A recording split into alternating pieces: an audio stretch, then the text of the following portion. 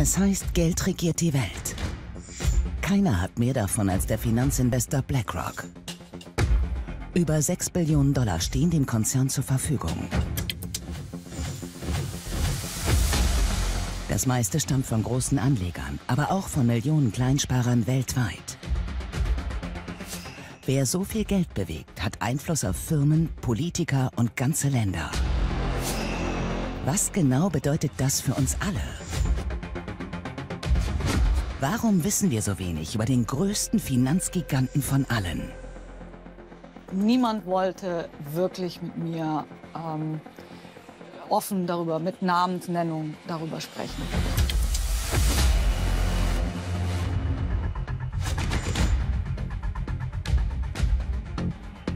Ich glaube, BlackRock ist eine extrem gefährliche Firma.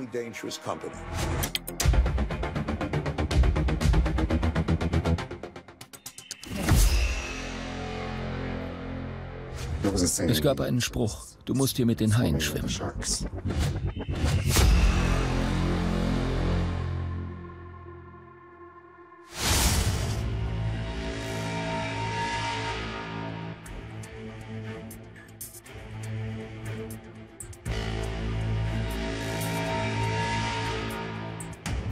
Der größte Finanzinvestor der Welt residiert in New York. Das Hauptquartier von BlackRock liegt auf der 52. Straße in Midtown Manhattan. Nicht an der Wall Street, sondern in einem normalen Büroviertel. Das Gebäude ist für jeden zugänglich. Im Erdgeschoss sind ein edler Designerladen und ein Café untergebracht. Ein Klavierspieler sorgt für anspruchsvolle Atmosphäre. Ein künstlicher Wasserfall und sattes Grün dienen als Wohlfühloase. Die Büros von BlackRock befinden sich hinter einer wuchtigen Absperrung. Abends tummeln sich am Eingang noch die Essenskuriere. Wer hier arbeitet, achtet nicht auf den Feierabend. Hier steht Business im Vordergrund. Der Kopf des Unternehmens ist Lawrence D. Fink, genannt Larry. Er ist der mächtigste Vermögensverwalter der Welt. Über 6 Billionen Euro gehen durch die Hände seiner 14.500 Mitarbeiter. Keine Firma der Welt managt mehr. So ein Erfolg fällt einem nicht in den Schoß. Da muss man sehr getrieben sein, sehr ehrgeizig, sehr smart. Man muss gute Instinkte haben. Und natürlich kann man mal Glück haben und spekulieren und eine Milliarde erzielen in einem Jahr. Aber das muss ja aufrechterhalten werden. Sie müssen neue Kunden gewinnen, also Investoren. Sie müssen Investoren halten können und idealerweise müssen sie wachsen können. Und BlackRock wächst und wächst. Seit dem Börsengang 1999 stieg der Kurswert auf über 400 Dollar. Als Larry Fink die erste Aktie in Händen hielt, waren es gerade mal 14 Dollar. Die Börsenkorrespondentin Heike Buchter hat den Aufstieg von BlackRock von Anfang an miterlebt und ein Buch darüber geschrieben. Es ist bis heute das einzige, das sich mit den Finanzgeschäften des Konzerns beschäftigt. BlackRock arbeitet mit dem, was die Wall Street OPM nennt. OPM, Other People's Money. Das ist das Geld anderer Leute. Das ist das Geld, was die Wall Street am allerliebsten verwendet. Ähm, und bei BlackRock ist das natürlich auch System. Wir arbeiten mit Geld, was ihnen Pensionskassen, Versicherungen, äh, Kleinsparer ähm, und ähm, alle Leute, die mehr damit ein Interesse daran haben zu investieren, können sich an BlackRock wenden und die investieren es dann für sie. Zu BlackRocks Kunden zählen große Investoren wie etwa der norwegische Staatsfonds oder die kalifornische Pensionskasse. Die Anlagesummen betragen oft Milliarden. Ab zweistelligen Millionenbeträgen gibt es individuelle Beratung direkt von BlackRock. BlackRock ist ein Unternehmen, das absolute Aufmerksamkeit verdient, weil es die weltgrößte Investmentfirma ist. Mit 6 Billionen Dollar ist sie größer als die meisten Banken, zumindest in Bezug darauf, wie viel Geld verwaltet wird. Seit der Finanzkrise sind Firmen wie BlackRock die neuen Könige am Markt. Ich glaube nicht, dass man sagen kann, dass BlackRock ein bekanntes Unternehmen ist. Ich denke, in Frankreich ist es sogar völlig unbekannt, wenn man vom Finanzmilieu absieht. In der Wirtschaft weiß man, dass es ein wichtiger Investor ist. Viel mehr weiß man nicht. BlackRock nimmt auch Geld von Kleinanlegern. Für sie stehen kostengünstige Fonds bereit. Diese sogenannten ETFs werden bei BlackRock unter der Marke iShares verkauft. Fast ein Drittel des gesamten BlackRock-Anlagevermögens steckt in ETFs. India, China, Brazil, iShares, small caps, large caps, iShares, industrials, low cost. Every dollar counts. iShares. BlackRock wirbt für seine ETFs mit einer breiten Risikostreuung. Das ist vor allem für Kleinanleger verlockend, die von der Finanzkrise gebeutelt wurden. Aber es gibt auch andere Meinungen. Und die sagen, BlackRock hat zu viel Geld, BlackRock beherrscht die Kapitalmärkte und falls mal etwas schief geht, dann könnte das die ganze Finanzwelt bedrohen. Doch Larry Fink wiegelt ab. Die Wahrheit ist, dass die Kapitalmärkte Kapitalmärkte sind. Ich steuere die doch nicht. Die ganze Welt steuert die Märkte. Alle, die da teilhaben. Ist Larry Finks Einfluss auf die Kapitalmärkte tatsächlich so gering? Es gibt gute Gründe, daran zu zweifeln, denn in den zehn Jahren seit der Finanzkrise 2009 stieg BlackRock zum größten Investor der Welt auf. Und die ETFs spielen dabei eine zentrale Rolle.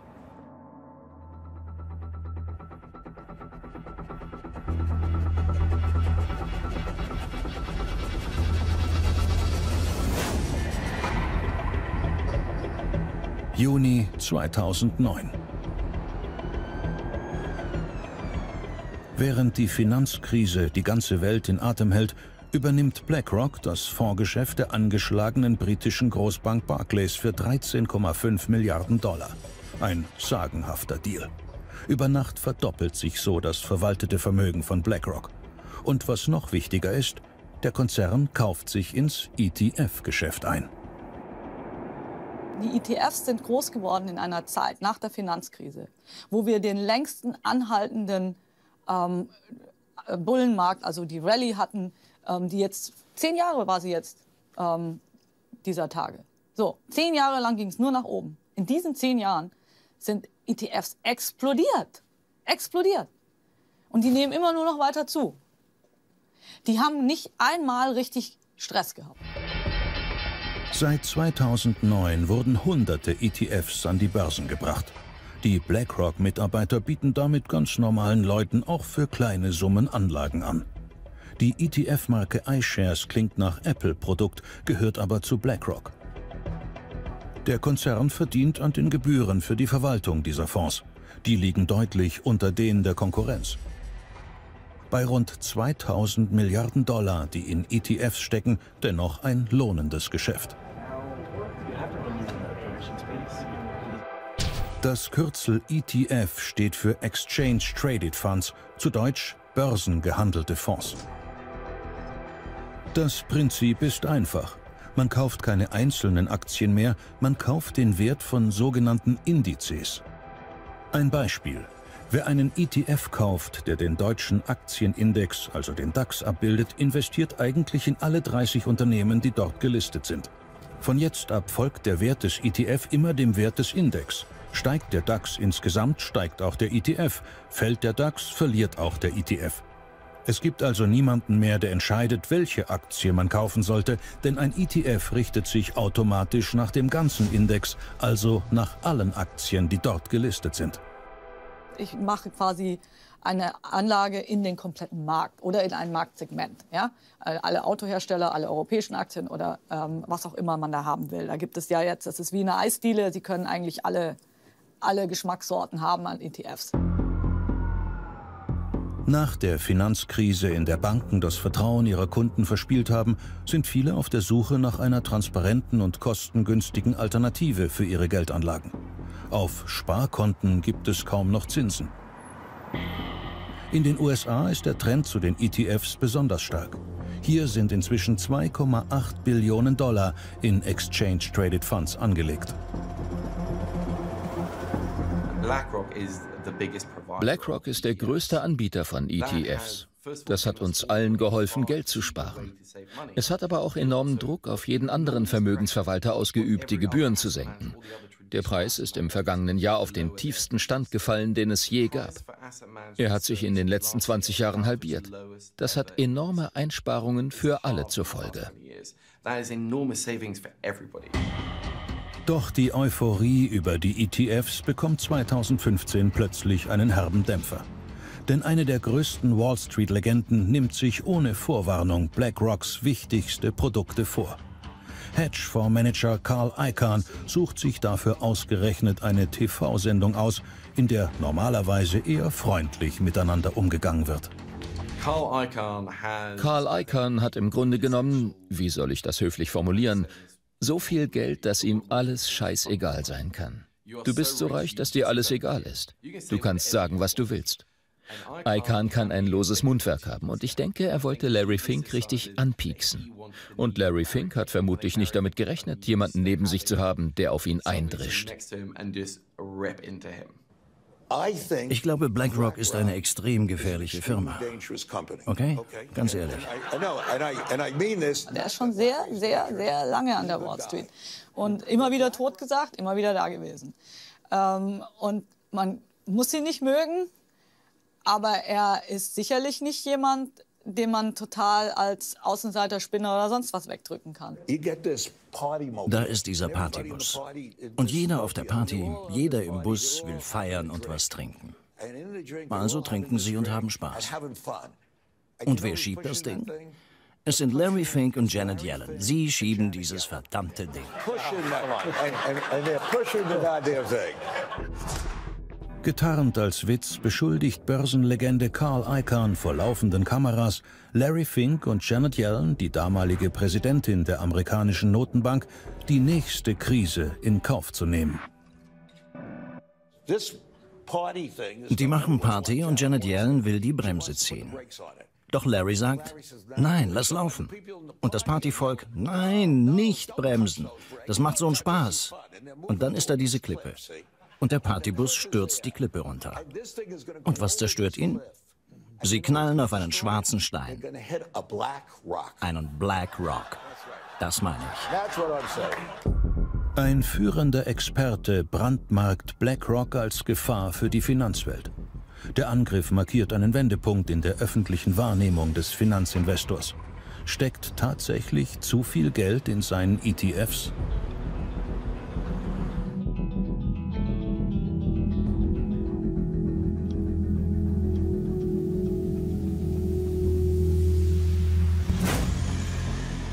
Seit der Finanzkrise ist man sich in Europa einig. Niemals sollen mehr mit Steuermitteln Banken gerettet werden müssen. Für deren Regulierung und Kontrolle ist seit 2014 die Europäische Zentralbank, die EZB, zuständig.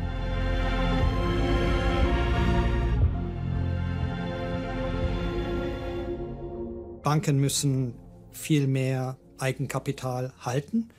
Ähm, also vor der Krise haben Banken vielleicht so 8, 9 Prozent im Schnitt gehalten. Jetzt würde ich sagen, in der Eurozone haben die Banken im Schnitt zwischen 13 und 14 Prozent. Also ist der Schnitt, das variiert. Unweit der EZB befindet sich die Deutschlandzentrale von BlackRock. Als globaler Vermögensverwalter hat der Konzern zwar inzwischen viel mehr Geld im Umlauf als die meisten Banken, wird aber deutlich weniger kontrolliert. Denn BlackRock ist keine Bank vergibt keine Kredite und gilt deshalb als nicht systemrelevant. Systemrelevant wäre ein, ein Finanzinstitut, das, wenn es in Schwierigkeiten gerät, einen Schock im Finanzsystem äh, auslöst, das dann auf die reale Wirtschaft irgendwie eine negative Auswirkung haben könnte. So würde ich äh, Systemrelevanz äh, definieren. Könnte BlackRock nach dieser Definition doch systemrelevant sein? Nach einer Studie des Financial Stability Board, eines Gremiums, das die G20-Staaten quasi als Frühwarnsystem nach der Finanzkrise einrichteten, hat BlackRocks Geschäft inzwischen weitreichende Ausmaße angenommen. Falls Kunden ihre ETFs plötzlich massenhaft verkaufen würden, warum auch immer, könnte das die ganze Börse bedrohen und damit auch Tausende von Unternehmen, deren Aktienkurse ins Bodenlose fielen. 900, 900, 900. If you try sell something when nobody's trying to buy it, the price Wenn du verkaufen willst, es aber niemanden gibt, der kaufen will, dann kann der Preis rasant fallen. Und ein Schneeballeffekt setzt ein. Es war immer die Sorge, dass ETFs unter Umständen eine gefährliche Sache sein können. Ich finde, das ist eine berechtigte Sorge. Aber es gab vor der Krise ein paar Billionen Dollar an ETFs und sie haben sie überstanden. Sie haben so funktioniert, wie sie sollten. Das ist der Grund, warum die Menschen nach der Finanzkrise mehr Vertrauen in ETFs hatten. Auch wenn die ETFs die Krise gut überstanden haben, gibt es Alarmsignale, dass es auch mal anders laufen könnte. So wie beim sogenannten Flash Crash im Mai 2010. Aus dem Nichts stürzten die Kurse ab. Ein Großteil der Transaktionen betraf ETFs. Der Live-Reporter aus der Wall Street konnte es nicht fassen.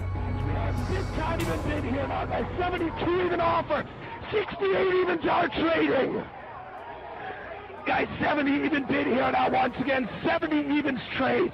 71 even bid here now with the 72 evens are trading. Du siehst einen Lastwagen kommen, der rollt auf dich zu, der wird schneller und du musst dann kalkulieren, ob es so hinkommt, dass der bremst, bevor er bei dir ankommt, oder ob er dich einfach platt macht. Und dann musst du, dann musst du dich entscheiden. Nach wenigen Minuten war der Spuk vorbei. So schnell wie die Kurse gefallen waren, erholten sie sich wieder. Bis heute ist nicht geklärt, was genau an diesem 6. Mai 2010 passiert ist.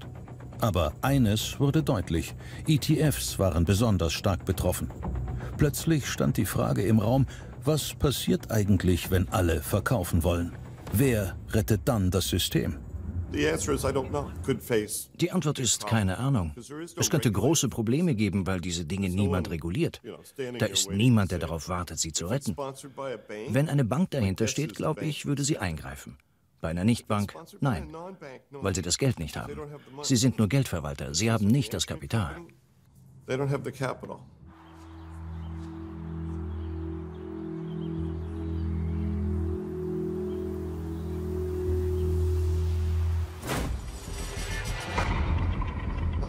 Sollten ETF-Anbieter also genau wie Banken Rücklagen bilden müssen? Dann bliebe ihnen weniger Geld zum Spekulieren, weniger Möglichkeiten, Profite zu machen. Für große Vermögensverwalter wie BlackRock eine Horrorvorstellung. Besonders ungelegen kam da eine internationale Studie von Wissenschaftlern. Sie feuerte die Diskussion über die Systemrelevanz von BlackRock an. Einer der Autoren unterrichtet an der McGill-Universität in Montreal. Ich weiß nicht, ob ich sagen würde, dass unsere Studie der Beweis dafür ist. Es geht auf jeden Fall in, in, in die Richtung, dass dieses Problem der Finanzmarktstabilität, dass wir das ein bisschen neu überdenken müssen. Dass es nicht nur die traditionellen Finanzinstitutionen wie Banken sind, die traditionell auch reguliert werden, wo wir, wo wir verstehen, warum die reguliert werden und was die Probleme gegebenenfalls sein können. Die Studie heißt schlicht Wer hat Angst vor BlackRock? Die Ergebnisse klingen nur scheinbar unspektakulär. Sobald BlackRock mit seinen ETFs in Märkte investiert, ziehen sich andere Investoren auffällig zurück. Allein die Anwesenheit von BlackRock löst bei anderen Finanzmanagern Angst aus. Die Erklärung ist brisant. Offensichtlich fürchten sie sich davor, dass BlackRock und die anderen Großen plötzlich ihre gigantischen Beträge abziehen müssten. Das Problem ist, dass wenn ich selbst Investoren habe, die unter Umständen dann zu mir kommen und sagen, der Portfoliowert ist äh, runtergegangen, ich möchte bitte mein Geld zurück, dann muss ich zu dem gleichen Zeitpunkt, zu dem der Aktienpreis äh, negativ beeinflusst wurde, eben auch die Aktie verkaufen. Zum Zeitpunkt, der der ungünstige Zeitpunkt aller Zeitpunkte ist. Eine solche Situation fürchten an der Börse alle dann käme es zu dem bedrohlichen Run for the Exit, nichts wie weg. Und genau diese Fluchtbewegung könnte dann eben doch systemrelevant sein. Die Kurse würden fallen, die Investoren Milliarden verlieren, die Aktiengesellschaften riesige Verluste erleiden. Das System implodierte. BlackRock oder einer der anderen Großen risse alles mit hinunter. Und wer ist dann da? Wer hält das dann? Wer, ist da, wer, wer kauft dann? Wenn die ETFs fallen, wer kauft dann? Wer kauft dann? Und in dem Moment, wo niemand auf der anderen Seite ist, macht der Markt diesen hier. Jetzt kann man sagen, das passiert nicht. BlackRock sagt, es passiert nicht. Sowas passiert nicht.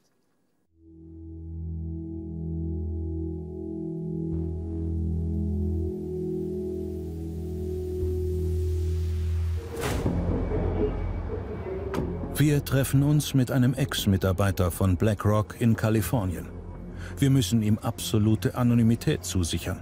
Zu groß ist seine Angst, nach einem Interview in der Branche für immer verbrannt zu sein.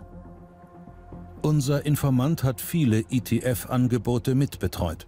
Der Druck bei BlackRock, diesen Markt zu erobern, war enorm. Vielleicht wollen sie den Markt zu einem Duopol machen. Ich denke, das wäre sehr schlimm, wenn das passieren würde. Ein Duopol hieße, neben BlackRock gäbe es nur noch einen weiteren Anbieter für ETFs. Nicht ganz unrealistisch. Denn mit der Nummer 2, Vanguard, teilt man sich schon zwei Drittel des US-Marktes. In Deutschland liegt der Anteil von BlackRocks iShares bei 50 Prozent. Millionen Amerikaner wollen mit ETFs ihre Altersvorsorge sichern. BlackRock bekommt einen Teil ihres Gehalts und zahlt ihnen davon später eine Rente aus. Es ist systemrelevant auf eine andere Weise, nämlich in dem Sinne, dass BlackRock die Altersvorsorge der amerikanischen Bevölkerung maßgeblich verwaltet. Doch nun wird in diesem Gerichtsgebäude eine pikante Klage verhandelt. Der Fall BlackRock gegen BlackRock, Unternehmen gegen Mitarbeiter. Die Anwälte glauben, dass BlackRock seine Treuepflicht gegenüber den Mitarbeitern zu eigenen Gunsten verletzt habe. Die Anklageschrift spricht von einer Kannibalisierung. BlackRock habe das Geld für die Pensionen ständig zwischen mittelmäßigen Fonds hin und her geschoben und dabei jedes Mal Gebühren kassiert. Würde das stimmen, so hätte BlackRock aus Profitinteresse das Pensionsgeld der eigenen Mitarbeiter verringert nur um selbst mehr Gebühren kassieren zu können. In der Summe geht es um Millionen Dollar. Es ist durchaus denkbar, dass BlackRock uns noch viele, viele Jahre vor Gericht beschäftigen wird. Es kann sein, dass ich überhaupt kein Geld erhalten werde. Nur weil ich glaube, dass BlackRock seine Verantwortung als Treuhänder nicht erfüllt hat. Als Firma, die ihre Verantwortung ernst nimmt, hätten sie vor allem bei der Offenlegung der Gebührenstruktur sehr viel besser arbeiten müssen. Das große Risiko ist, ihren guten Ruf zu verlieren. Ein großer Schwindel, der sie als Manager in Frage stellen würde, wäre für sie viel bedrohlicher als irgendein finanzielles Problem.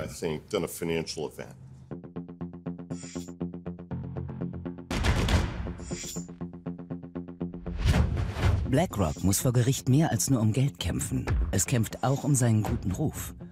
Denn ohne das Vertrauen seiner Kunden ist BlackRocks Geschäft in Gefahr. Der Konzern ist heute der größte Investor auf den globalen Finanzmärkten und kann die ganze Börse beeinflussen. Warum aber ist ausgerechnet BlackRock so erfolgreich? Was ist das Erfolgsgeheimnis des Konzerns? BlackRock ist Großaktionär bei tausenden Konzernen geworden. Apple, Microsoft, Facebook, Shell. BlackRocks Anlagekapital steckt überall. Und obwohl es nur das geliehene Geld seiner Kunden ist, hat Larry Fink mit seinen Managern die Verfügungsgewalt darüber. Er hat im Prinzip ein Umfeld geschaffen wie eine Bank. Er verwaltet jede Menge Geld. Wenn er in etwas Neues investiert, steigen sofort die Kurse an der Börse. Wer so groß ist, steuert den Markt. In Deutschland ist BlackRock bei den 30 wichtigsten Unternehmen Großaktionär. Und nicht nur bei denen. In Frankreich ist es ähnlich. Egal ob Airbus, Renault oder L'Oreal, BlackRock besitzt große Aktienanteile. BlackRock ist einfach Dreh- und Angelpunkt der Kapitalmärkte. Zusammen mit den anderen großen Investoren hier in den USA und auf der ganzen Welt sind sie es, die das Geld für die Altersvorsorge anlegen.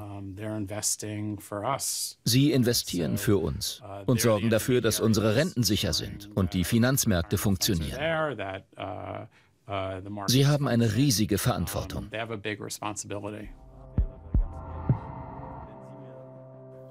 Ein Unternehmen mit einer riesigen Verantwortung weltweit. Und trotzdem kennt den Konzern kaum jemand. Wochenlang versuchen wir deshalb, einen direkten Kontakt herzustellen. Zahlreiche Telefonate und Mails später erhalten wir eine endgültige Interviewabsage.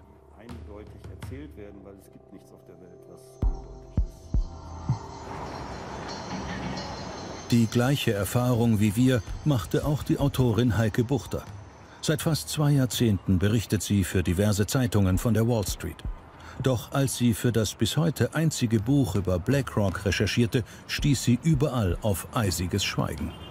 Ja, in der Tat. Also was ich ähm, interessant fand, war, dass selbst Leute, die nicht bei BlackRock waren, ähm, Leute, die mal bei BlackRock gewesen sind, Leute, die da gerne mal hin wollten, ähm, Leute, die mit denen anderweitig zu tun hatten. Niemand wollte wirklich mit mir ähm, offen darüber, mit Namensnennung darüber sprechen. Bisher hat sich noch kein BlackRock-Mitarbeiter an die Öffentlichkeit gewagt. Auch der Ex-Angestellte, den wir in San Francisco treffen, fürchtet sich vor dem langen Arm seines ehemaligen Arbeitgebers. Er berichtet von dem täglichen Druck, dem man bei BlackRock ausgesetzt war. To be honest, Ehrlich gesagt haben wir meistens gejammert. Das Umfeld war stressig, die Organisationsstruktur ziemlich flach. Hauspolitik war eine große Sache. Eine Menge Leute taten sich wichtig, um nach oben zu kommen. Es gab viele Beschwerden. Wir hatten einen Spruch bei BlackRock. Du weißt ja, dass du hier mit den Haien schwimmst. Unser Informant entwickelte Fonds für die internationalen Märkte. Seine Produkte sollten also weltweit Investoren anlocken. Bei Erfolg gab es fette Bonuszahlungen, bei Misserfolg Druck und Stress. Und Erfolg wurde bei BlackRock klar definiert. Es gab eine Redensart, die ich passend finde. Lass uns reiche Leute reicher machen. Auch wenn das natürlich eine krasse Vereinfachung ist. Erfolg bei BlackRock? Für mich zumindest zeigte sich das in den internen Bewertungen, also in meinen Bonuszahlungen. Das Management hat ganze Stadthallen angemietet, in denen der Geschäftsführer den Mitarbeitern seine Visionen und Zahlen präsentierte und deutlich machte, welche Ziele er im Kopf hatte. Firmeninterner dringen so gut wie nie nach außen. Frei nach dem Motto, Diskretion schafft Vertrauen bei den Kunden. Doch was hat BlackRock, das andere nicht haben?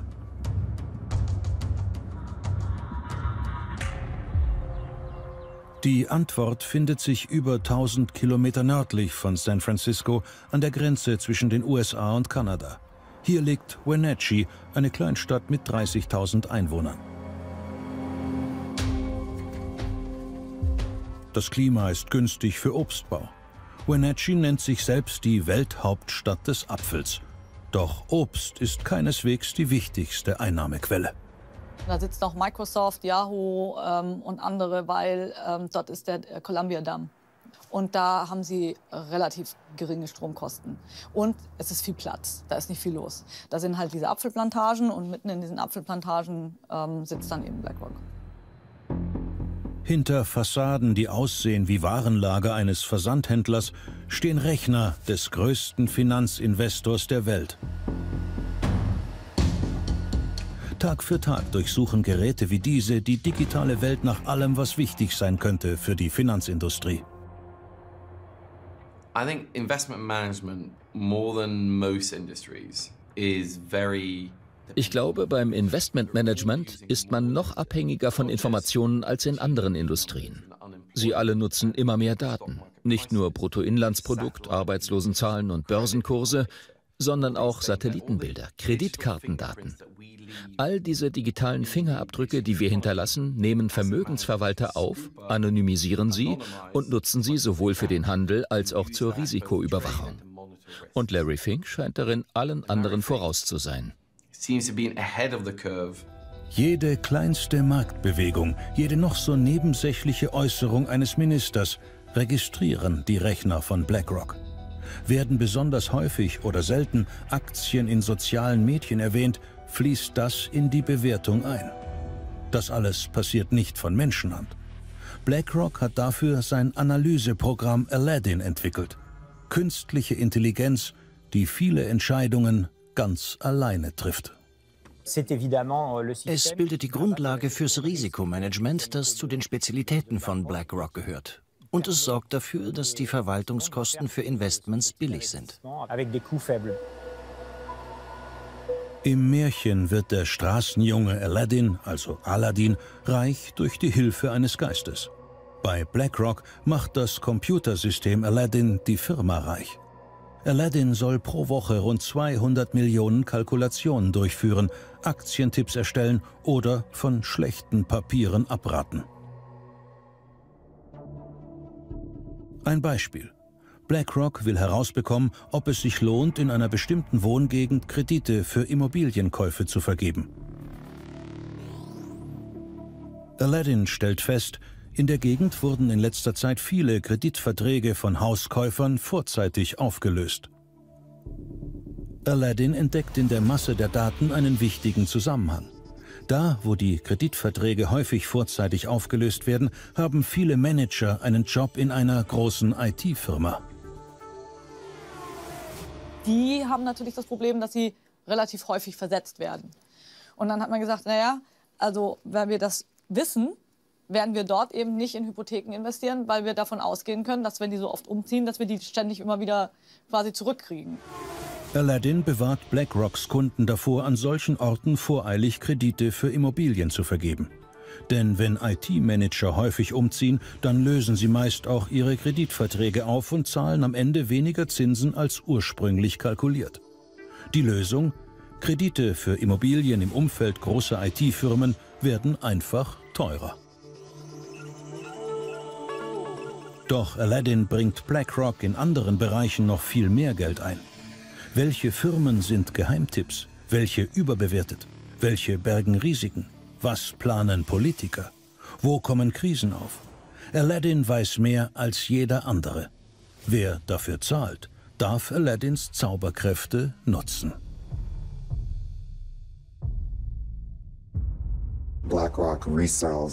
BlackRock verkauft seine Informationen weiter. Sie verpacken sie nach Bedarf und verkaufen sie an sehr große Unternehmen, damit die ihre eigenen Papiere managen können. Letzten Endes geht es um Risikomanagement. Aladdin ist der Schlüssel zu allem. Und seine Macht in der Finanzwelt hat BlackRock schon 2013 in einem Werbevideo selbst eingestanden. Das Datenprogramm wird freimütig als quasi allwissendes Hilfsmittel angepriesen. Smarter than any algorithm. More powerful than any processor. Because I am Aladdin. Because I am Aladdin. A new kind of intelligence. For a new world of investing. Inzwischen laufen über Aladdin 18 Billionen. Und ich meine deutsche Billionen. Billionen. Das ist so viel wie äh, die Wirtschaftsleistung der USA in einem Jahr. Alle Amerikaner arbeiten ein Jahr lang, um quasi dieses Kapital zu stemmen, was quasi täglich während wir hier sitzen, läuft das über Aladdin. 18 Millionen mal eine Million Dollar. Das ist eine Zahl mit zwölf Nullen. Geld, das insgesamt über die Aladdin-Software verwaltet wird. So stellt sich natürlich die Frage, was ist, wenn ein Fehler auftritt? Was, wenn es gehackt würde? Ich habe mit dem Produkt gearbeitet und weiß, wie streng Veränderungen im System überwacht wurden. Trotzdem ist es bedenklich, dass so viel Geld aus der ganzen Welt durch dieses eine System fließt. Was, wenn es nur Aladdin und vielleicht noch ein anderes Produkt gibt, durch das sämtliches Geld fließt? Ein Duopol, wie bei Cola und Pepsi? Man kann sich das Risiko vorstellen und die Macht dahinter. Das ist ein Systemproblem.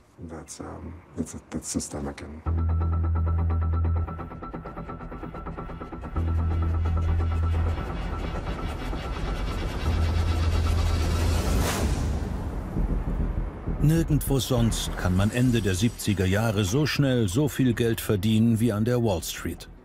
Der Ort ist extrem begehrt. Wer berühmt werden will, geht nach Hollywood. Wer Geld machen will, geht zur Börse.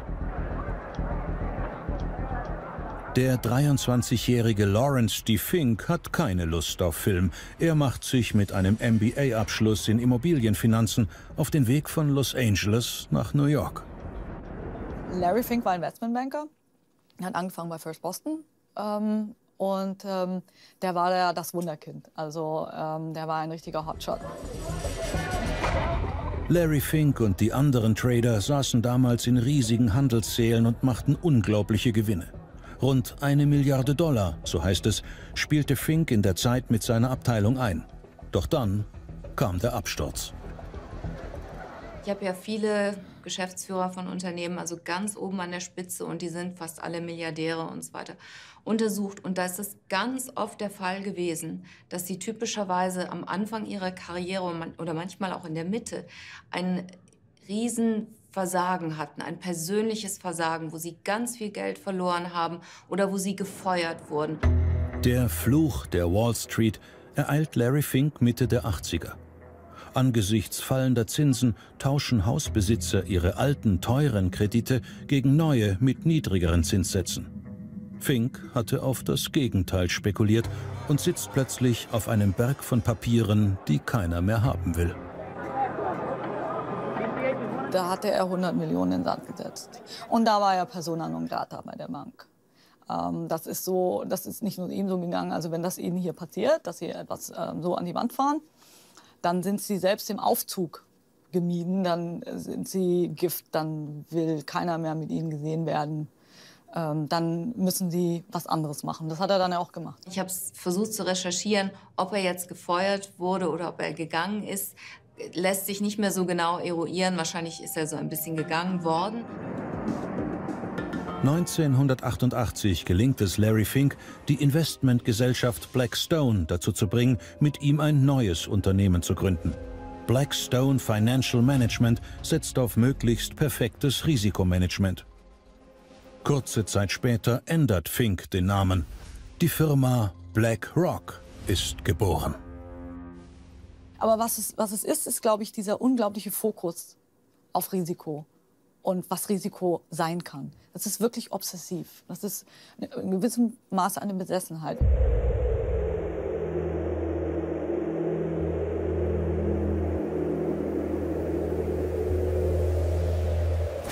Der Seismograph für Risiken und Chancen der Weltwirtschaft ist hier.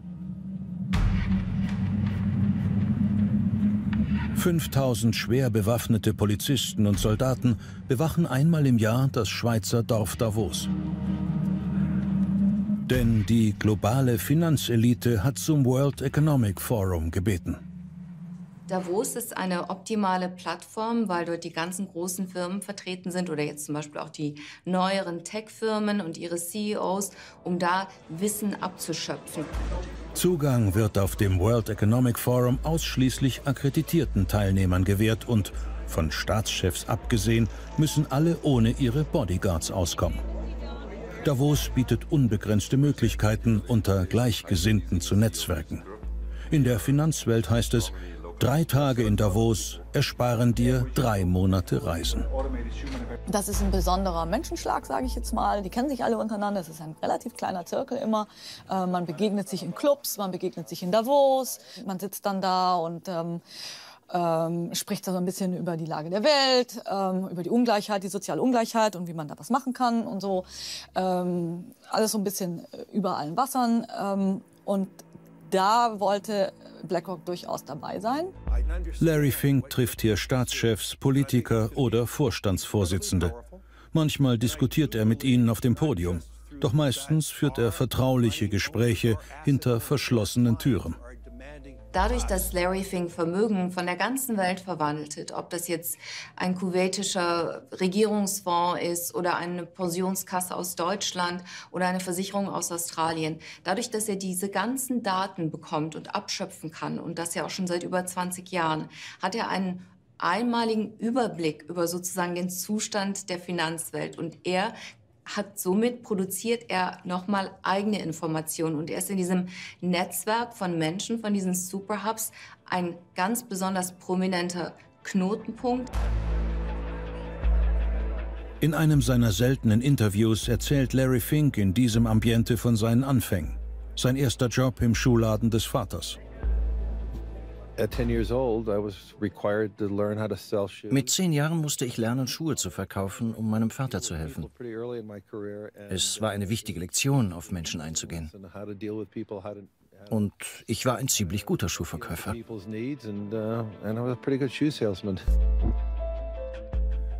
Es ist eine der wenigen privaten Geschichten, die über Larry Fink bekannt sind. Sie soll ihn wohl als gewissenhaften Geschäftsmann darstellen und von dem Machtgefälle ablenken, das längst zwischen ihm und einem Kleinanleger liegt.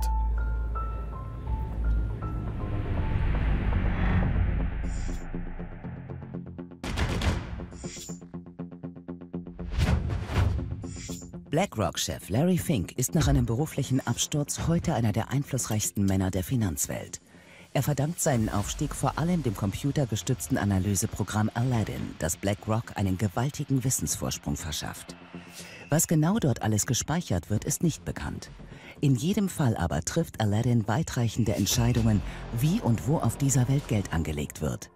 Welchen Einfluss hat BlackRock damit auf unsere Gesellschaft?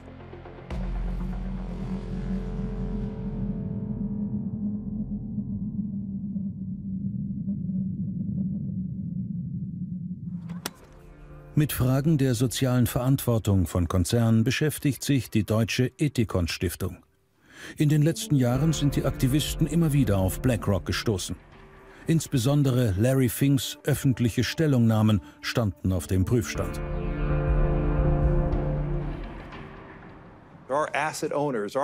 Unsere Aktionäre, unsere Kunden verlangen von uns, dass wir uns auf Umwelt, Nachhaltigkeit und Unternehmensführung und auf soziale Bedürfnisse konzentrieren. Das ist ihnen bei den Investitionen wichtig. Und so glaube ich an die Macht der Gemeinschaft. Ich glaube an die Macht der Bürger, Unternehmen auf den richtigen Weg zu bringen. Er spricht davon, dass Unternehmen ähm, oder Konzerne ähm, sich Gedanken um ihr Image machen sollten, vor allem da jüngere Leute in den sozialen Medien ihnen heute verstärkt auf die Finger schauen würden. Regelmäßig veröffentlicht Larry Fink Briefe an die Vorstandschefs derjenigen Firmen, in die BlackRock Geld investiert hat. Dabei legt er scheinbar großen Wert auf die soziale Verantwortung der Unternehmen. Die Gesellschaft fordert, dass Unternehmen einem sozialen Zweck dienen. Um langfristig erfolgreich zu sein, darf jedes Unternehmen nicht nur an den Gewinn denken, sondern es muss auch zeigen, wie es einen positiven Beitrag zur Gesellschaft leistet.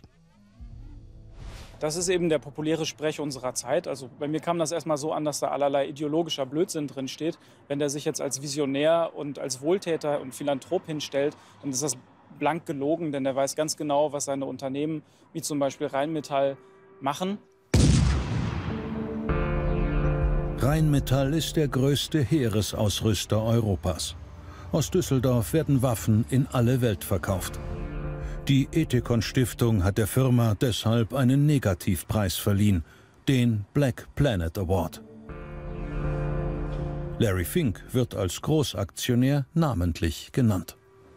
Der investiert mit seinem Vermögensverwaltungsunternehmen BlackRock eben vor allem in große Konzerne und vor allem die, wo die Profitraten eben möglichst attraktiv sind. Und dafür nimmt er eben in Kauf, dass es sich dabei um ähm, Kriegskonzerne handelt, die an schrecklichen Bürgerkriegen Geld verdienen, wie jetzt gerade im Jemen und in Saudi-Arabien. Der investiert auch mit BlackRock in Unternehmen, die an der Zerstörung der Natur verdienen. Großaktionär BlackRock als Nutznießer der Kriegsindustrie. Tatsächlich hat die Rheinmetall-Aktie kräftig Gewinn gemacht. Ihr Kurs stieg seit 2016 um etwa 70 Prozent. BlackRock investiert auch in andere Rüstungskonzerne. Passt das zu den Briefen Larry Finks, in denen er mehr Verantwortung für Umwelt und Gerechtigkeit fordert?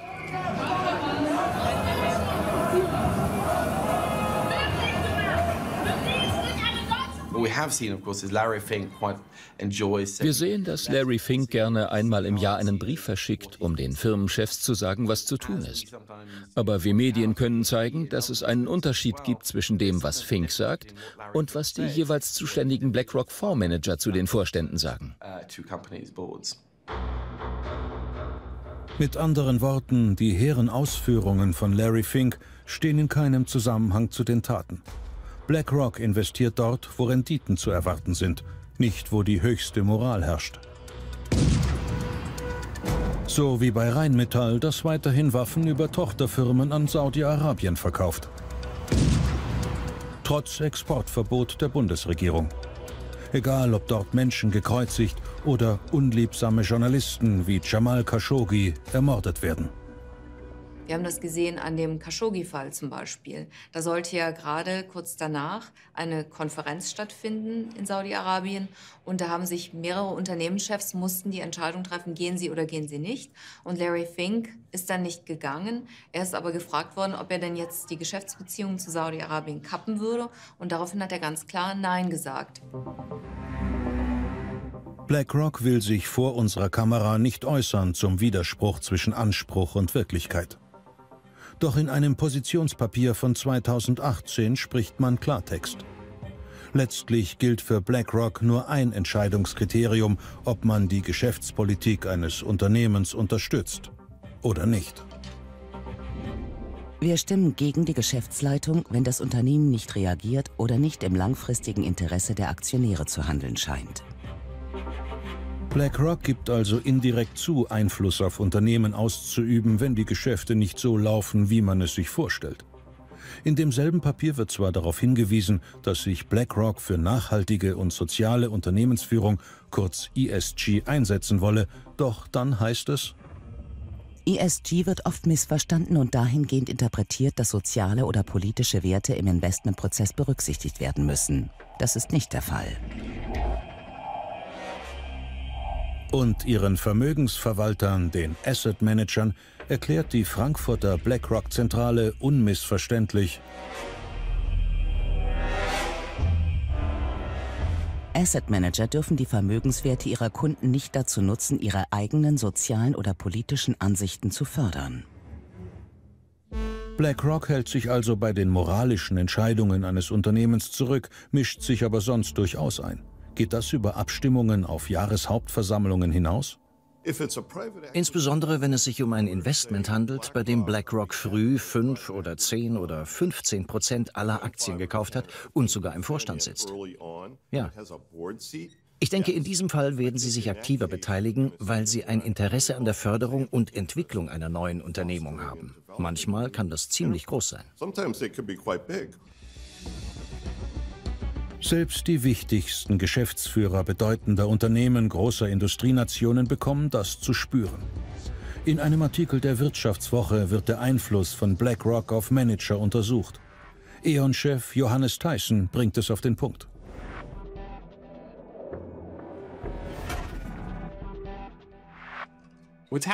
Fest steht, dass sich BlackRock-Verantwortliche mit den Firmen treffen und die Unternehmen selbst auch versuchen, sich mit denen zu treffen.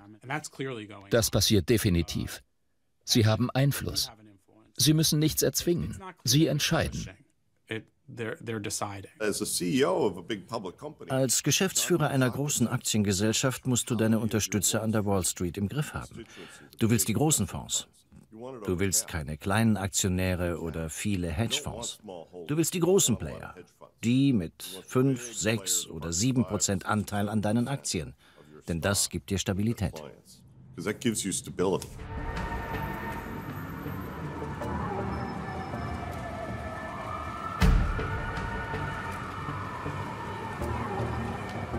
Kann BlackRocks Macht auch zum gesellschaftlichen Wohl eingesetzt werden?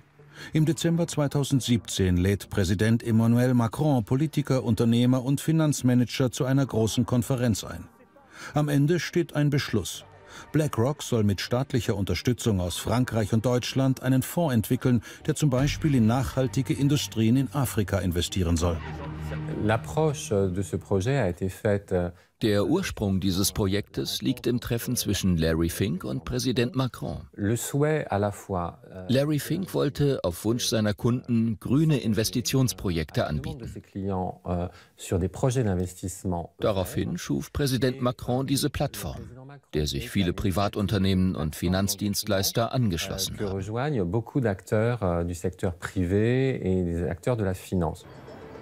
Larry Fink hat den Staatspräsidenten Frankreichs demnach gebeten, ihm das Geschäft in Entwicklungsländern zu öffnen, offiziell um das Klima zu retten. Doch man kann es auch anders sehen. Frankreich und Deutschland helfen BlackRock dabei, neue Märkte zu erobern und zusätzliche Investoren zu gewinnen. Wir schlagen vor, dass sie ihre Komfortzone verlassen. Und da sie die Bedingungen in südlichen Staaten, insbesondere in Afrika, nicht gut kennen, sind die beiden staatlichen Entwicklungsagenturen für Larry Fink ein unverzichtbarer Partner bei der Risikokontrolle. Noch gibt es keine konkreten Projekte. Fest steht aber, in die wirklich armen Länder soll der Fonds nicht investieren, ausschließlich in wachsende Märkte. Die Bereitschaft BlackRocks zur Rettung des Klimas, die Komfortzone zu verlassen, hält sich offenbar in Grenzen. Zumal BlackRock weiterhin Geld verdient an Unternehmen, die sich eher weniger durch Umweltschutz auszeichnen. Der Widerspruch zwischen Lippenbekenntnissen und tatsächlichem Handeln führt immer wieder zu Protestaktionen. Ab und zu erhält Larry Fink neue Negativpreise. Zum Beispiel für sein Investment in die Klimakiller Kohle, Öl und Gas. Wir sind hier vor dem Hauptsitz von BlackRock, um Larry Fink den einzigen Preis zu geben, den er wirklich verdient hat. Eine Auszeichnung als Klimabetrüger.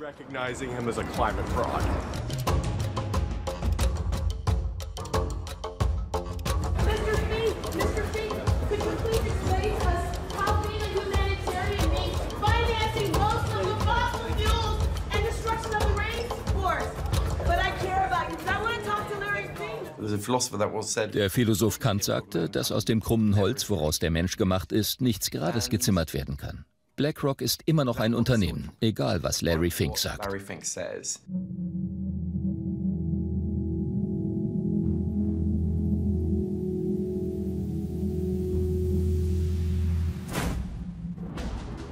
Der Einfluss von BlackRock wächst mit jeder neuen Investition, die das Unternehmen tätigt. Rund um den Globus stimmt BlackRock heute bereits auf rund 17.000 Hauptversammlungen großer Aktiengesellschaften über deren Geschäftspolitik mit ab. Für den Wissenschaftler Martin Schmalz einer der Gründe, den Einfluss des Finanzinvestors wissenschaftlich zu untersuchen. Was bedeutet es denn eigentlich für die Wirtschaft auf der Welt, dass BlackRock in so vielen Unternehmen Großaktionär ist? Ich hatte mir einfach immer vorgestellt, dass Bill Gates der größte Anteilseigner in Microsoft ist und Steve Jobs oder äh, Cook oder ähm, an Apple und, äh, und so weiter, wie man das eben normalerweise aus der Presse kennt mit Mark Zuckerberg und so weiter. Ähm, das stellte sich aber einfach als falsch raus. Also mir waren einfach nicht die Fakten bekannt, dass ähm, weder in Apple noch Microsoft die, die Gründer die größten Anteilseigner sind, sondern die größten Anteilseigner eben Vanguard, BlackRock und äh, ähnliche Finanzinvestoren sind. Schmalz macht darauf aufmerksam, dass BlackRock und andere große Finanzfonds wie Vanguard in Firmen investieren, die Konkurrenten sind. Experten nennen das Common Ownership. BlackRock hat also zum Beispiel Aktien sowohl bei Adidas als auch bei Puma. Was aber heißt das für den Wettbewerb? Common Ownership heißt, dass die großen Finanzgesellschaften Anteile an praktisch allen Firmen weltweit haben. Uh, die Sorge ist, dass der Wettbewerb darunter leidet. Fakt ist, es gibt immer weniger, immer größere Unternehmen, die ganze Branchen beherrschen. Aber ob das an den Investoren liegt, das wissen wir nicht. Um diese Frage zu beantworten, analysierte Martin Schmalz mit seinen Kollegen den amerikanischen Luftfahrtmarkt. Dabei kam heraus, dass Ticketpreise der großen Airlines unter dem Einfluss von Common Ownership stiegen. Im Ergebnis lagen sie um bis zu 11 Prozent höher als vorher. Wenn Sie zwei Airlines haben, Sie besitzen eine, ich besitze die andere und wir tauschen einen Teil unserer Anteile aus sodass sie 50 Prozent von beiden halten und ich halte auch 50 Prozent von beiden. Jetzt haben wir viel Common Ownership. Und was die Daten zeigen, ist eben, dass wenn hier solche Transaktionen stattfinden, äh, also weniger extrem als in diesem Beispiel, äh, dass dann die Preise in den Märkten eben steigen, die Ticketpreise. Und andersrum, wenn man viel Common Ownership hat, aber dann Anteile so verkauft werden, dass es weniger Common Ownership gibt, dann gehen eben die Preise wieder runter. In den Untersuchungen von Martin Schmalz geht es letztlich darum, welchen Einfluss Common Ownership auf das Verhalten der Geschäftsführer konkurrierender Firmen hat. Wenn die nämlich wissen, dass ihr eigener Investor auch im anderen Unternehmen sitzt, lassen sie den Konkurrenzkampf vielleicht schleifen. Und damit setzen die Manager, die sogenannten CEOs, einen gefährlichen Kreislauf in Gang. Wenn der CEO in der einen Firma sich jetzt ein bisschen weniger anstrengt, die Kosten zu senken und dadurch die Gewinne zu erhöhen, und der CEO in der anderen Firma sich auch ein bisschen weniger anstrengt, die Kosten zu senken, dann sind eben die Gesamtkosten der Industrie ein bisschen höher. Wenn die Gesamtkosten höher sind, dann werden die Firmen weniger produzieren, weil die Kunden weniger nachfragen. Äh, wenn aber die Firmen weniger produzieren, sind die Produktpreise höher. Einfach weil weniger Angebot auf dem Markt zu höheren Preisen führt. Und das paradoxe Resultat davon kann sein, dass die Margen in der Industrie höher sind, wenn sich die CEOs weniger anstrengen, die Kosten zu senken. Schmalz Forschung hat weltweit für Aufmerksamkeit gesorgt. Auch an der weltberühmten Berkeley University wird diese neuartige Bedrohung des Wettbewerbs beobachtet. Denn wenn Schmalz Recht behält, wäre der Wettbewerb gefährdet, ohne dass es wie früher direkte Preisabsprachen geben müsste. Wir versuchen herauszufinden, ob die Ergebnisse auch in anderen Branchen gültig sind. Ich würde sagen, dass eine Studie kein Beweis ist. Wir brauchen mehr davon. Wir haben sicherlich Grund zur Sorge und sollten weiter forschen. Aber endgültige Urteile sind noch nicht möglich.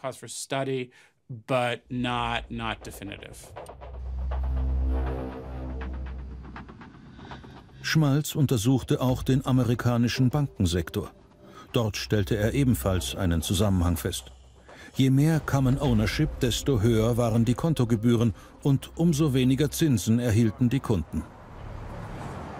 Wir haben ein zweites Papier geschrieben über Banken, aber andere haben geschrieben über äh, Saatgutpreise, die von den großen Saatgutkonzernen eben äh, gemacht werden, haben dort Effekte von Common Ownership gezeigt. Es gibt äh, ein halbes Dutzend Studien über den Einfluss oder den Zusammenhang zwischen Common Ownership und der Innovationskraft von Unternehmen.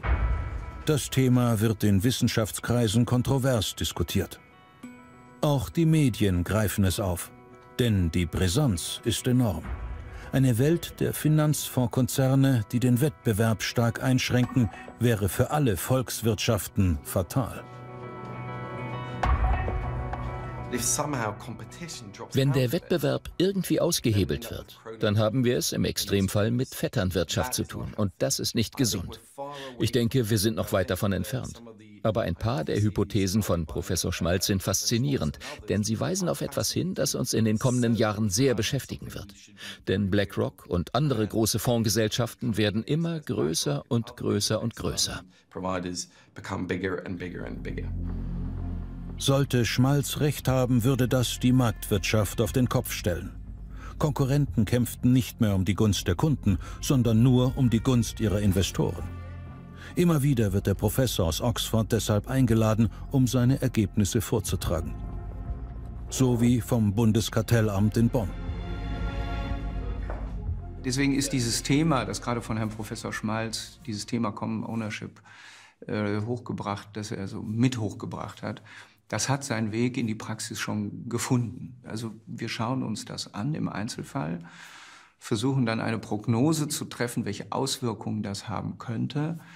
Ähm, aber es ist bisher noch nicht zu einer Untersagung eines Falles auf dieser Grundlage gekommen. BlackRock und die anderen Finanzinvestoren wollen auf keinen Fall zulassen, dass sie in Zukunft bei Aktienkäufen stärker kontrolliert werden. Kein Wunder.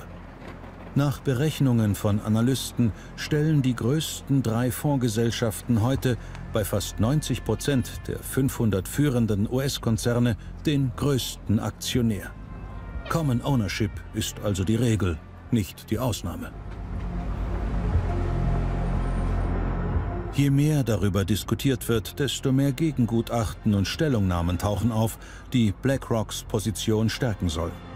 Die Konzernspitze lässt keine Gelegenheit aus, Schmalz Ergebnisse zu kritisieren. Um mögliche Gefahren für die Wirtschaft zu überprüfen, führte die US-Handelskommission im November 2018 in New York ein Hearing durch. Die Ausführungen des deutschen Wissenschaftlers gefährden die Interessen von BlackRock. Dementsprechend scharf fällt die Antwort der stellvertretenden Vorstandsvorsitzenden des Finanzinvestors aus. Um Common Ownership zu verhindern, soll man nur noch Aktien von einem Unternehmen pro Branche besitzen dürfen. In diesem Fall könnte man nicht mehr vielfältig investieren. Dieses Engagement spielt aber eine wichtige Rolle für die Verantwortlichkeit von Unternehmen und hat nicht nur einen Wert für die Aktionäre, sondern für die ganze Gesellschaft. Soll heißen, BlackRock kämpft für das Wohl der Gesellschaft. Oxford-Professor Schmalz hingegen habe zahlreiche Fehler gemacht. Seine wissenschaftliche Kompetenz wird relativ unverhohlen in Frage gestellt. Auch uns lässt BlackRock zahlreiche Gegengutachten zukommen. Der Druck auf Schmalz ist erheblich. Man, man gewinnt den Eindruck, dass sich die Macht äh, eben auch in den akademischen Bereich erstreckt.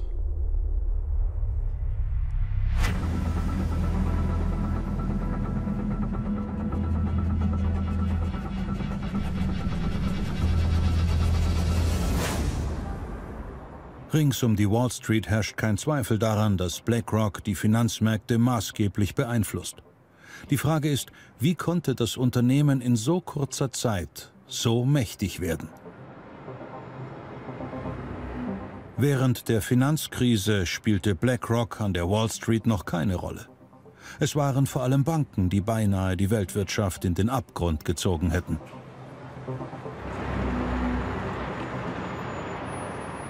Im September 2008 bricht die US-Investmentbank Lehman Brothers zusammen. In der Folge gerät das weltweite Finanzsystem ins Wanken. Eine der wichtigsten Aufgaben ist es anschließend herauszubekommen, wie schlimm es um die einzelnen Geldinstitute tatsächlich steht. Womit haben sie sich eigentlich verspekuliert? Wie groß ist der Schaden? Doch wer kann so etwas herausfinden? Vor allem, wem kann man noch vertrauen? E Normalerweise würden sich die Europäische Zentralbank oder verschiedene Regierungen einfach bei Goldman Sachs oder JP Morgan oder der Deutschen Bank Beratung holen. Aber das war nach der Krise schwierig. Und wenn man dann jemanden sucht, der die Märkte wirklich gut kennen sollte, mit wem sprichst du dann? Natürlich mit Investoren, Fondsmanagern, die Tag für Tag über die Märkte und deren Abläufe nachdenken. Da ist es normal, dass sie zu ziemlich großen Beratern wurden. Das amerikanische Finanzministerium und die Notenbank melden sich bei Larry Fink. BlackRock soll die Bücher der strauchelnden weltgrößten Versicherung AIG analysieren. Dem Chef der Notenbank Timothy Geithner versichert Larry Fink, dass mit Hilfe Aladdins sein Team in der Lage sei, toxische Papiere zu erkennen. So wird BlackRocks Computerprogramm zum Rettungsanker für die hilflose Notenbank. Eine öffentliche Ausschreibung gibt es nicht. An diese Projekte kommst du halt nicht ran, wenn du niemanden kennst. Natürlich werden die auch ausgeschrieben, aber im Fall von BlackRock, erstaunlicherweise, in ganz vielen Fällen hieß es, ja, da war Eile geboten, da müssten wir ganz schnell jemanden finden. Prompt folgt der nächste Auftrag. US-Präsident Obama und Notenbankchef Geithner müssen die Citigroup retten. Niemand weiß genau, wie viele faule Kredite in deren Büchern stehen. BlackRock füttert seinen Aladdin-Rechner mit allen Informationen und Daten der riesigen Citigroup. Das Ergebnis? Die US-Regierung vergibt danach Milliarden Dollar Staatshilfen an die Bank. Wenn eine Bankaufsicht die Kriterien für die Robustheit von Banken nicht äh, selbst entwickeln kann, dann dankt sie ab. Das ist sozusagen Herrschaftswissen, was nur von der Bankenaufsicht äh, entwickelt werden kann, entwickelt werden muss was auch bei der Bankenaufsicht äh, bleiben muss. Als Notenbankchef Timothy Geithner 2009 von Barack Obama zum amerikanischen Finanzminister ernannt wird, bekommt Larry Fink einen direkten Draht ins Weiße Haus. BlackRocks Aussichten für die Zukunft sind herausragend.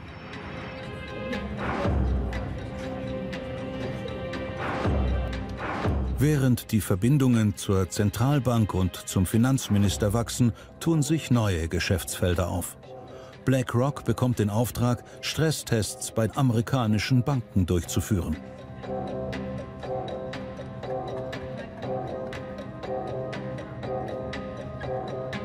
Und auch in Europa sind BlackRocks Dienste bald gefragt. Als Folge der Finanzkrise verschärft die EU die Regulierung der Banken. 2014 überträgt man der EZB die zentrale europäische Bankenaufsicht. Als wir angefangen haben äh, im Aufbau, da mussten wir 2014 sehr schnell eine sogenannte Comprehensive Assessment machen vom gesamten Bankensystem. Ähm, wir hatten noch nicht sehr viele Leute hier äh, und dann haben wir ähm, auch die Hilfe von Beratern äh, herangezogen, um uns zu helfen, das aufzubauen. Ähm, das hatte auch den Vorteil, einige von denen waren aktiv bei anderen ähm, Aufsichtsbehörden international, dass wir die Best Practices von denen äh, mit, ein, äh, mit, äh, mit einbeziehen äh, konnten. Aus diesen Büros werden heute die großen europäischen Bankhäuser reguliert. Die EZB-Angestellten arbeiten mit BlackRock und anderen externen Beratern zusammen. Die wichtigste staatliche Kontrollbehörde Europas teilt also sensible Wirtschaftsdaten mit BlackRock. Könnte Larry Fink dieses Wissen für seine anderen Geschäfte nutzen?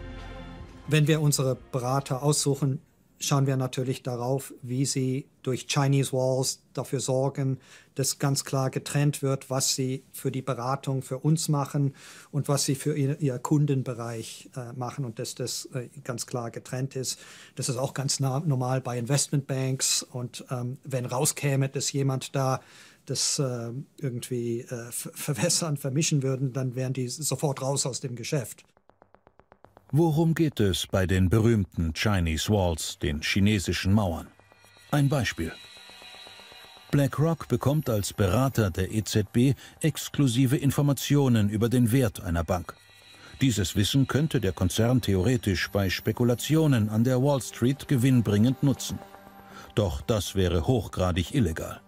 Deshalb müssen die Analyse und die Kaufabteilungen möglichst unüberwindlich voneinander getrennt werden. Jede Firma stellt dafür extra Mitarbeiter ein. Sie sollen die sogenannten chinesischen Mauern schützen. Die Leute sitzen buchstäblich neben dem Fondsmanager und sagen, ich glaube nicht, dass du das tun solltest. So nicht. Mit diesen Leuten darfst du nicht reden. Oder das musst du offenlegen. Ganz zu schweigen von den automatischen IT-Kontrollprogrammen. Doch wie jeder weiß, sind Menschen brillant darin, solche Kontrollen zu umgehen. Aber im Moment ist die Krise noch so frisch in Erinnerung, dass es bestimmt ein paar faule Äpfel gibt, weil es die immer gibt, aber die Gefahr insgesamt nicht allzu groß ist. Können die chinesischen Mauern den Wissenstransfer wirklich verhindern? Mit Blick auf die Euro-Krise bleiben zumindest Zweifel. BlackRock kaufte im Juli 2015 griechische Staatsanleihen und zwar zu einem Zeitpunkt, als die ganze Welt darüber spekulierte, ob die bald völlig wertlos wären. Was damals kaum jemand wusste, BlackRock hatte zuvor auf Wunsch der EZB die Bücher der griechischen Banken geprüft. Nutzte BlackRock sein Wissen aus? Als Griechenlands Pleite abgewendet wurde und die Risikoaufschläge der Staatsanleihen sanken, machte sich der Kauf jedenfalls für BlackRock bezahlt. BlackRock verweist auf Nachfrage darauf, ein reguliertes Unternehmen zu sein. Im Jahr 2008 habe man ein eigenständiges Beratungsteam gegründet, das von den Investmentabteilungen strikt getrennt sei, auch räumlich. Hinzu kämen regelmäßige technische und betriebliche Kontrollen. Die Chinese Wall ist der große Mythos in der Finanzwelt, sagt man immer. Deshalb hat man vor allem in den USA die Analyse des Aktienmarkts und den Handel mit Aktien sauber getrennt. Normalerweise funktioniert es eine Weile und dann gibt es wie in allen Mauern immer wieder Löcher, durch die Informationen hin und her gelangen können. In Griechenland gerät der US-Konzern erneut in Verdacht. Als das schwer verschuldete Land auf Druck der EU staatliche Gebäude privatisieren muss, steigt BlackRock früher als die meisten anderen ins Immobiliengeschäft ein. Der Ex-Banker Paschalis Buchoris organisiert die Privatisierung für den Staat. Kurze Zeit später erhält er bei der griechischen BlackRock-Tochter einen Chefposten. Für die EZB ist die Beratung durch Finanzfondsgesellschaften trotz aller chinesischen Mauern pikant. Schon bald will man unabhängiger werden. Und von Jahr zu Jahr, von Stresstest zu Stresstest, äh, ist die Rolle der Berater weniger geworden. Und ähm, es ist gut möglich, dass in 2020 ähm, wir gar keine Berater mehr verwenden werden und alles durch eigene ähm, Expertise machen werden.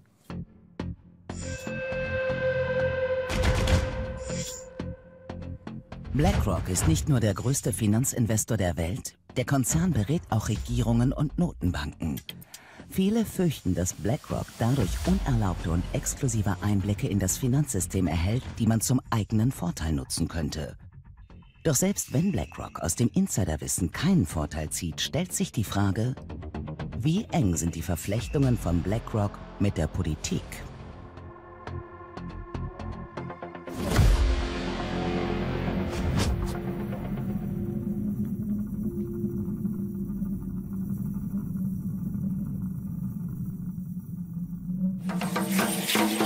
Mexiko. Die Heimat der Azteken ist mit 124 Millionen Einwohnern das elftgrößte Land der Welt. Pro Kopf ist das Bruttoinlandsprodukt etwa so hoch wie in China. Bei allen Problemen, die es gibt, Mexiko weckt Begehrlichkeiten. Zum Beispiel die von BlackRock. Der US-Konzern investiert seit 2008 massiv in das Land in Amerika.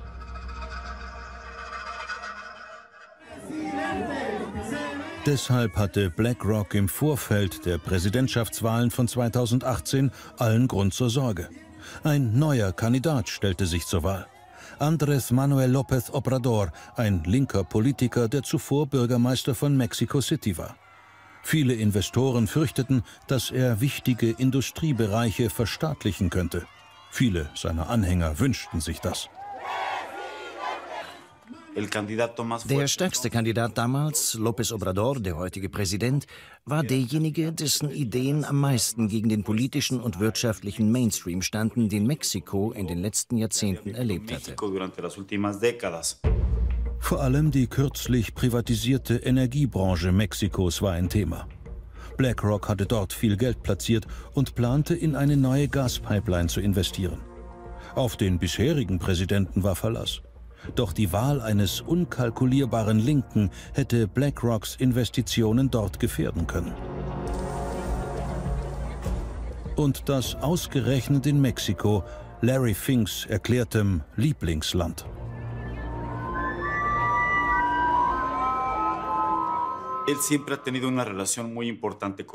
Seine Beziehung zu Mexiko war ihm schon immer wichtig.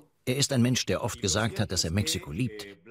Fest steht, dass BlackRock in Mexiko mehr als 60 Milliarden Dollar in verschiedene Fonds investiert hat. Der Kontrast könnte nicht größer sein.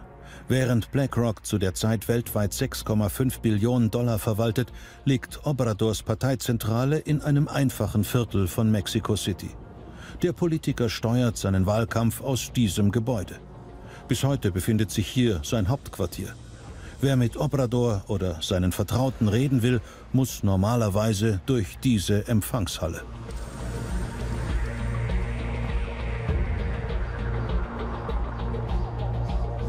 Doch das gilt nicht für Larry Fink, als er im Mai 2018 anreist. Gemeinsam mit anderen Finanzmanagern darf er López Obrador in einem Luxushotel treffen. Die Inhalte der Gespräche bleiben vertraulich. Allerdings erklärt Obrador anschließend öffentlich, dass ihm US-amerikanische Finanzfonds in Mexiko stets willkommen seien. Ich glaube, dass dieses Treffen zwischen Fink und López Obrador ein Zeichen von Vertrauen ist. Ich denke, es geht weit über ein Treffen des guten Willens hinaus. Kurze Zeit später wird López Obrador neuer Präsident. Die Menschen erhoffen sich von ihm die Bekämpfung der grassierenden Korruption und Kriminalität. Aber viele wollen auch vorher privatisierte Wirtschaftsbereiche, in denen BlackRocks Milliarden stecken, wieder verstaatlichen. Doch davon ist nach Obradors Wahlsieg keine Rede mehr. Und wird es wohl auch nicht mehr sein. Denn kein Präsident Mexikos kann auf das Geld ausländischer Finanzinvestoren wie BlackRock verzichten. Die Möglichkeit, dass Präsident López Obrador das ausländische Kapital im Energiesektor aus Mexiko verbannen wird, ist gleich null. Praktisch null. Es geht ums reine Überleben. Keine internationale Organisation würde dem Land Geld leihen, weder der Internationale Währungsfonds noch die Weltbank. Keine internationale Organisation würde die Finanzlücke dann füllen. Denn schon zehn Jahre vor dem Wahlsieg des linken Präsidenten hat BlackRock sich in Mexikos Energiesektor fest verankert. Erst vor kurzem hat die Journalistin Claudia Ocaranza den Deal von damals genauer recherchiert. Mit kleinem Budget und investigativen Methoden kümmert sie sich immer wieder im Auftrag der Nichtregierungsorganisation Poder um Lobbyismus. Aus Sicherheitsgründen darf ihr Büro von außen nicht gezeigt werden.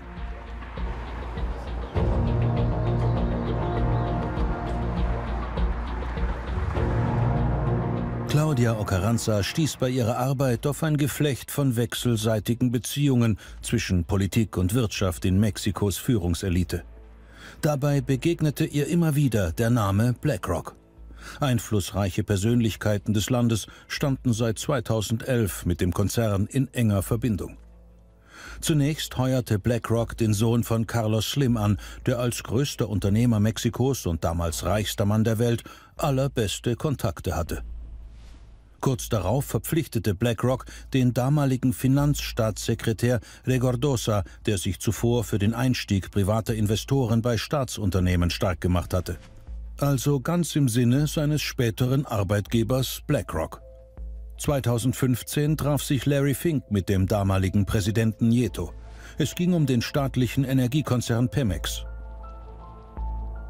Pues no sabemos exactamente qué fue lo que pasó ahí, pero wir wissen nicht genau, was dort passiert ist.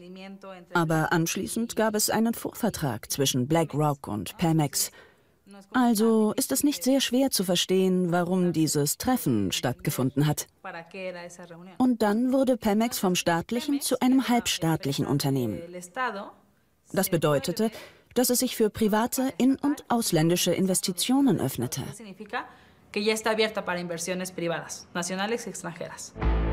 Claudia Ocaranza gelingt es, das Memorandum zwischen BlackRock und Pemex einzusehen. Darin wird die Einrichtung eines gemeinsamen Projektbüros von BlackRock und Pemex geregelt, das die Zusammenarbeit bei Energieprojekten in Mexiko fördern soll. Der richtige Vertrag über den Deal mit allen Details bleibt bis heute geheim. Der offizielle Grund ist, dass es sich um ein Geschäftsgeheimnis handelte und dass es die Beziehung zwischen BlackRock und Pemex und den Wettbewerb gefährden könnte und so weiter. Bis heute wissen wir nicht, wie hoch der Anteil von BlackRock ist, wie viel Prozent sie überhaupt maximal haben dürfen in einem Energieunternehmen. Wir wissen nicht, welche Pflichten sie haben oder wie viel Geld investiert werden soll. Das alles wissen wir nicht. Doch ein paar Details konnte die Journalistin herausfinden. BlackRock hat Zugriff auf große Energieprojekte wie die gigantische Erdöl- und Gaspipeline Los Ramones. Zusammen mit einem Partner steckte BlackRock 900 Millionen Dollar in die Entwicklung der Pipeline, die Mexiko mit den Schiefergasförderbecken in den USA verbindet. Es ist der Anfang der gigantischen Investitionen, die bis heute in den mexikanischen Energiesektor gesteckt wurden. Und trotz des Regierungswechsels zu einem linken Präsidenten baut BlackRock seinen Einfluss in Mexiko immer weiter aus. Wir reden davon, dass sie allein 2018 85 Milliarden Dollar in nachhaltige Energiefonds investiert haben. Das sind fast 90 Prozent der ihnen zur Verfügung stehenden Mittel. Und sie setzen weiterhin auf den Energiesektor. BlackRock ist neben anderen ausländischen Unternehmen einer der größten Investoren in Mexiko. Neben dem Energiesektor ist BlackRock in Mexiko vor allem an Geschäften mit Rentenfonds interessiert. Die Nationalbank übergab BlackRock 2014 das Recht, einen Teil der Ersparnisse mexikanischer Rentner für sie anzulegen. Mit anderen Worten, BlackRock hat Zugriff auf das Geld vieler Pensionäre und soll deren Renten sichern. Ein riesiges Geschäft. Die Genehmigung erteilte die staatliche Rentenkommission CONSAR. Und das, obwohl zu der Zeit gegen einen BlackRock-Manager ein Verfahren wegen Insiderhandels lief. Auch wenn es später eingestellt wurde, ist sich Claudia Ocaranza sicher, nach den Richtlinien hätte es keinen Vertrag geben dürfen mit einem Konzern, gegen den ermittelt wird. Und noch etwas stört sie. Wo investiert BlackRock mein Geld? Es geht nicht, dass wir das nicht erfahren. Die Rentenkommission CONSAR hat BlackRock nicht verpflichtet, Auskunft zu geben a dar esa información. Immer neue Verbindungen werden bekannt. Isaac Portnoy unterschrieb nach Recherchen von Ocaranza für BlackRock den lukrativen Vertrag. Er war vorher ausgerechnet bei Consar tätig, der staatlichen Kommission, die der Vereinbarung zuvor zustimmen musste. Nach ein paar Jahren bei BlackRock wechselte Portnoy dann zu Pemex, der Erdölfirma, mit der BlackRock nach dem Treffen von Larry Fink mit Ex-Präsident Nieto Milliarden in den mexikanischen Energiesektor investierte. Der Kreis schließt sich. Wir fanden einige solche Fälle wie das Beispiel von BlackRock und Isaac Portnoy. Es ist wichtig zu sagen, dass wir keinen Beweis haben, dass er etwas Unrechtes getan hat. Aber er saß vorher genau in der Concert-Kommission, in der die Pensionsfonds in Mexiko geregelt werden. Ein klassischer Fall von Drehtüreffekt also. Von staatlichen Institutionen oder politischen Ämtern wechseln wichtige Personen zu BlackRock. Oder umgekehrt, ganz nach Bedarf.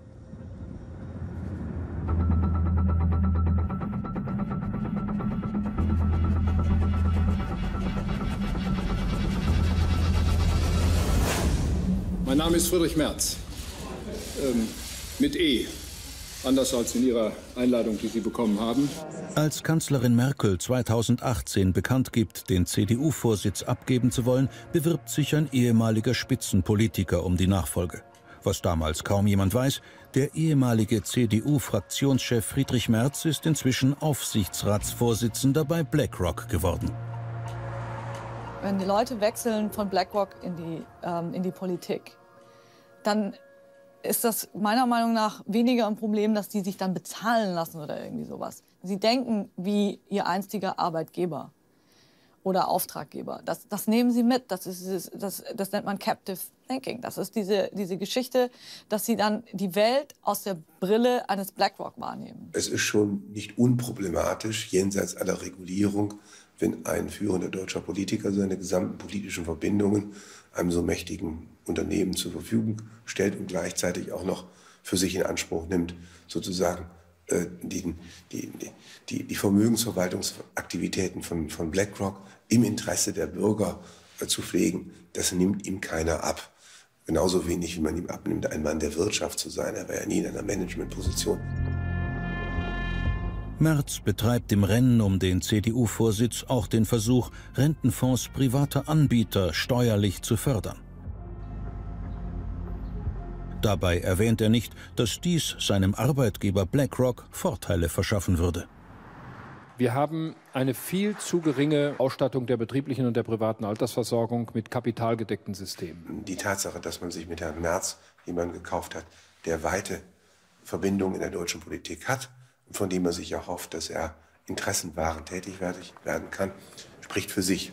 Das Thema ist nicht nur BlackRock, sondern es ist die Macht des internationalen Finanzkapitals gegenüber nationalen Demokratien.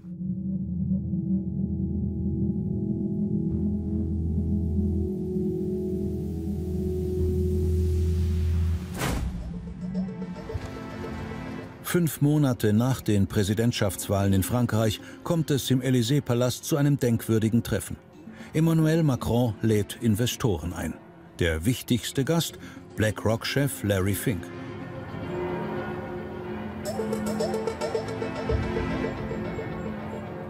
Macron will Geld des größten Vermögensverwalters der Welt ins Land holen. Deshalb hatte er bereits kurz nach seinem Amtsantritt Fink mehrfach getroffen.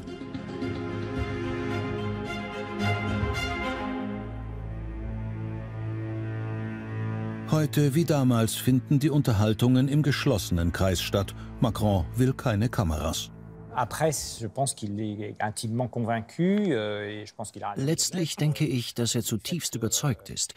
Und ich finde, dass er recht hat, dass man diesen Menschen nahe sein muss, zumindest in geschäftlicher Hinsicht, um sie dazu zu bringen, sich in Frankreich niederzulassen, beziehungsweise Investitionen zu tätigen.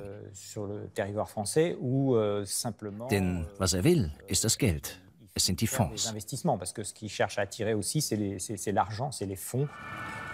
Macron will weniger Staat und mehr Privatisierung in Frankreich. Dafür hat der Staatspräsident eigens eine Kommission ins Leben gerufen. Zu deren Mitgliedern gehört auch der Chef von BlackRock Frankreich, Jean-François Cirelli. Erst arbeitete er für Präsident Chirac, machte dann das staatliche Unternehmen Gaz de France zu einem der größten Energiekonzerne der Welt. Und genau wie Friedrich Merz in Deutschland fordert auch Jean-François Cirelli überall und immer wieder, dass Aktienfonds bei der Altersvorsorge gefördert werden müssen. Wir machen jedes Jahr eine Studie, was die Franzosen für ihren Ruhestand wollen. Sie wissen, dass die klassische Rente nicht den gewünschten Lebensstandard bringen wird. Und deshalb halte ich es für wichtig, dass wir eine neue Säule für die Altersvorsorge bekommen.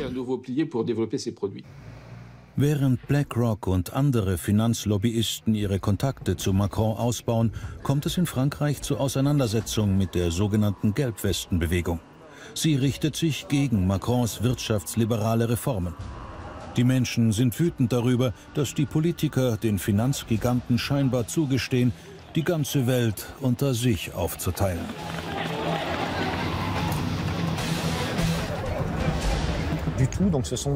Also das sind Leute, die gegen das System protestieren.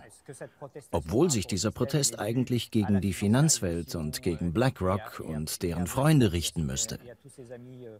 Das ist jetzt vereinfacht, aber was stimmt ist, dass das Finanzsystem ziemlich viel Anteil an der Ungleichheit im Land hat und dass der Protest dieser Menschen sich auch gegen die Ungleichheit richtet.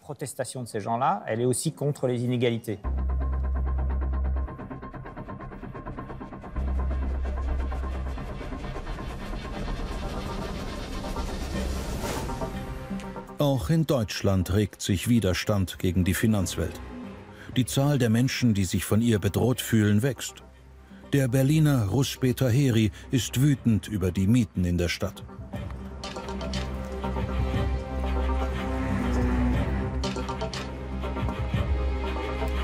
Besonders ärgert er sich über den Einfluss von Finanzinvestoren beim Wohnungskonzern Deutsche Wohnen.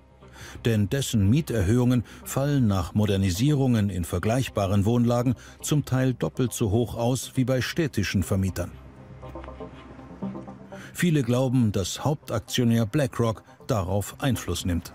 Man kann sich ja nicht vorstellen, dass so ein Milliardenkonzern wie BlackRock oder tausende Milliarden Konzern, genauer gesagt, äh, einfach so eine Investition laufen lässt. Dann sollen sie machen, was sie wollen.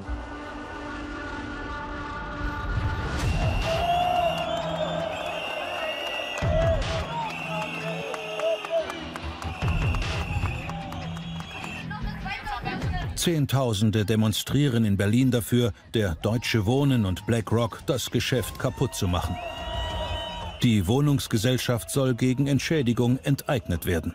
Damit würde BlackRock eines seiner wichtigsten Investitionsobjekte in Deutschland verlieren.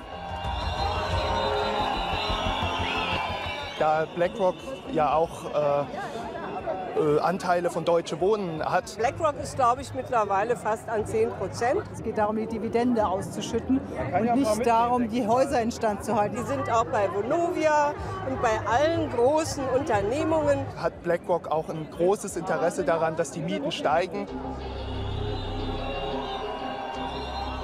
Rusbe Taheri hat bereits weit über 70.000 Unterschriften für eine Enteignung gesammelt.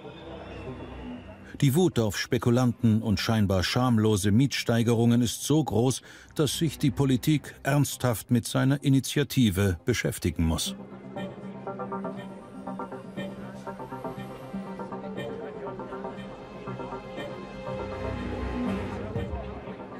Wachstum, Wachstum, Wachstum und da bleiben so viele unten am sozialen Rand. Und die können die Mieten überhaupt nicht mehr bezahlen. Schon jetzt zeigt der Druck der Straße Wirkung.